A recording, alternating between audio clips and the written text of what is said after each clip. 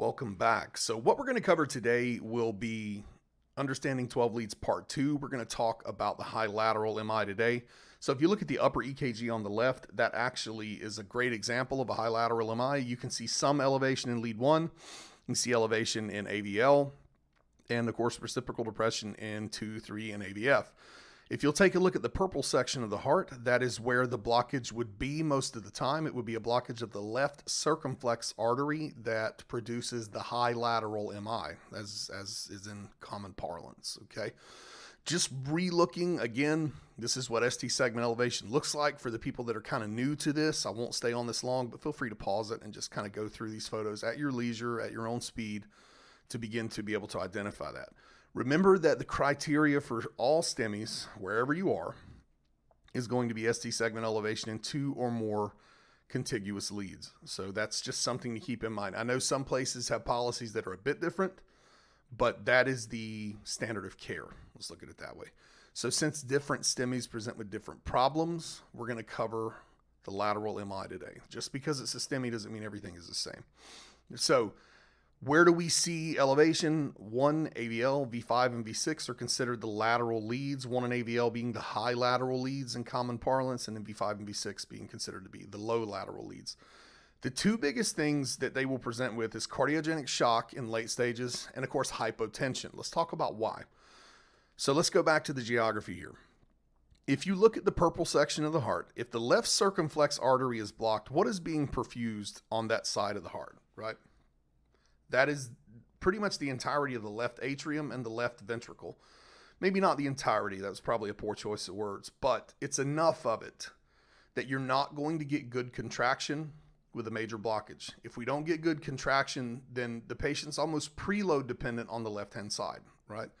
That being the case, what's going to happen is that ventricle is not going to properly empty. If it can't properly empty because it can't properly perfuse itself, you're not going to have great blood pressure. Okay. Not without some sort of help.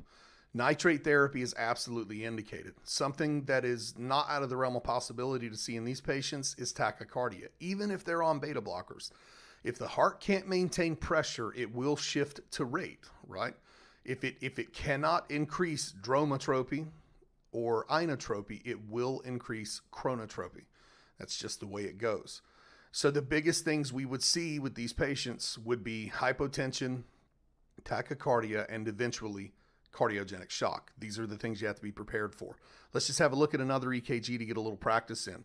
So looking at leads 1 and AVL, feel free to pause this if you want. You can see the ST segment elevation, reciprocal depression in 2, 3, and AVF.